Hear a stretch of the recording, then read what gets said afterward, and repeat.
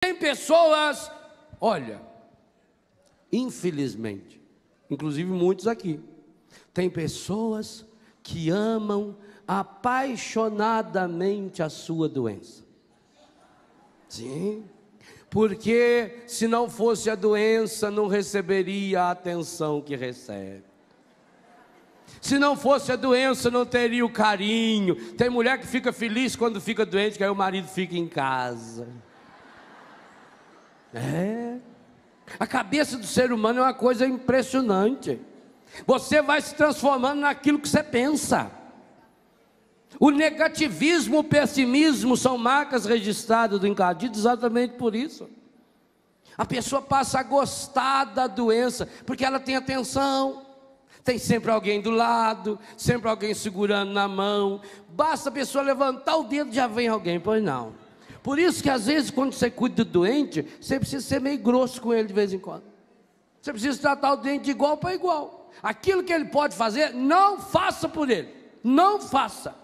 Porque se fizer não é caridade. Ah, mas o que, que tem? A gente está bom, a gente deve, deve, mas não deve. Deve do ponto de vista afetivo, mas espiritualmente não deve, porque faz um mal danado. Não é verdade? A pessoa vai ficando mole. Então ela vai tornando-se é, em, em dependência química. A Organização Mundial da Saúde chama o problema da codependência. Codependência significa o quê? Quando, por exemplo, seu marido é alcoólatra. Você vira, ele é dependente, é uma doença.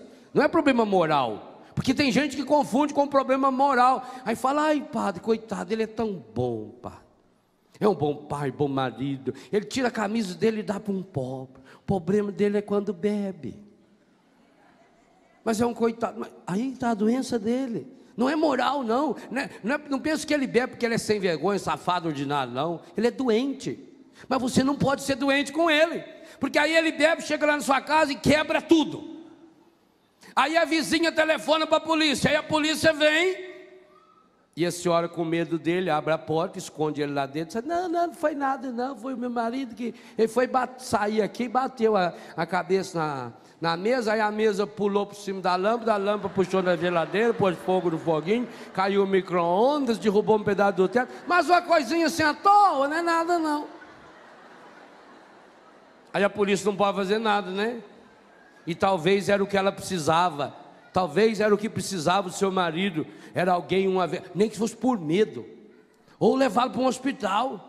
Levá-lo à força, se fosse o caso. Mas a senhora protegeu codependente. Amanhã vai proteger de novo. Depois da manhã vai. Pro... Por isso que tem alguns que só faz bobagem em casa. Uma vez lá em Tutinga falaram que tinha um homem lá que tinha o um capeta nele. Mas só baixava o capeta nele quando ele estava bêbado e em casa. Com a mulher e as crianças. Aí chamaram eu ir lá. Eu fui. A hora que ele veio para meu lado, eu enfiei assim um murro aqui no queixo do bicho e deitou. Falei, amanhã, nove horas em ponto, o senhor vai na casa paroquial, que eu preciso acabar de expulsar esse demônio. Olha, por que que quando ele estava lá no bar, no meio daqueles grandão, o encardido não baixava nele? Ah, meu filho. E depois, quando o demônio baixou nele, que ele estava sentado assim, estava, aqui foi para mim o sinal definitivo de discernimento. Estava a sogra dele sentada no primeiro banco. A mulher dele e dois filhos. Ele passou, reconheceu a sogra, a mulher, os filhos, e veio grudar no meu pescoço, aqui, jacaré. Não, senhor. Isso aí é outro espírito. E com esse espírito, meu filho, Jesus já falou, ele falou meio diferente, né? Certas formas de espírito só com muito soco no queixo que vocês viram. Então você não pode amar a doença. Você não pode alimentar os vícios. Ô oh, mãezinha querida, eu sei que a senhora ama o seu filho mas esse amor está errado. Pior do que não amar é amar errado. Porque a senhora está protegendo esse menino de 15, 16 anos. ele está na droga, ele está sendo. Na escola ele está tendo problema, a senhora está jogando a culpa nas professoras. Transfere ele de escola. A vizinha veio dizer que ele quebrou a vidraça lá. Imagina, só brigou com a vizinha, porque imagina se o seu filhinho querido ia fazer isso. Ele nunca fez nada de errado, ele sempre, ele sempre falou a verdade. Não, meu filho não, que se fosse ele, ele me contava. Ô oh, mãe amada, seu filho é igualzinho para Dilé, igual a você. Nós somos santos e pecadores. Mas se não pegar firme nessa hora, a pessoa acaba se acostumando com a doença a pessoa acaba se acostumando com o vício e acaba gostando da doença e acaba gostando do vício. Você acha que tem muita gente que não ama o vício que tem? Pois sabe que quando está viciado todo mundo respeita. Tem pai que morre de medo do filho porque o, o filho fumou a maconha. Não, ele, ele fica muito nervoso, ele, aí tem que fazer tudo que ele quer. É, é uma sensação de poder. Pois isso acontece também quando a pessoa se acostuma com a sua doença e passa. Engraçado, por que, que quando a pessoa tem determinado vício, determinada doença, ela passa a reproduzir o mesmo comportamento em todos os lugares? Você vai no Nordeste, você vai no Norte, ou na Europa, ou lá no Japão, as pessoas vêm conversar com a gente e contam a mesma coisa. Por quê?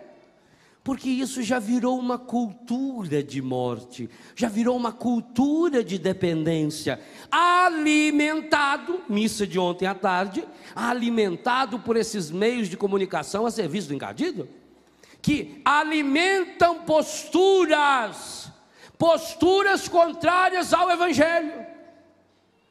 O que, que significa o verde do templo litúrgico mesmo? Vida, mas também imaturidade. A gente não está maduro ainda. Pois, queridos e queridas, o primeiro segredo que levou esse menino, como é que eu sei que é menino? Esse menino a ser curado da lepra foi a sua imaturidade.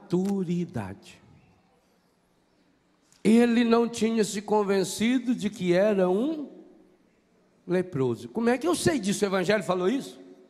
Falou. Nas entrelinhas. Ora, o leproso podia chegar perto de alguém? Por que, que ele chegou? Porque ele foi além dos preconceitos sociais. Porque a vontade de ser curada foi maior, de ser curado, de ser liberto, foi maior do que a doença porque ele não tinha se convencido ainda de que era leproso, porque ele nunca disse para ninguém: Eu sou leproso. Ele sabia que estava leproso. Talvez ele até tenha dito para a mãe ou para o pai: Eu estou leproso. E aí a mãe e o pai falou: Vai lá e procure Jesus, que esse aí é bom, esse vai dar um jeito na sua vida.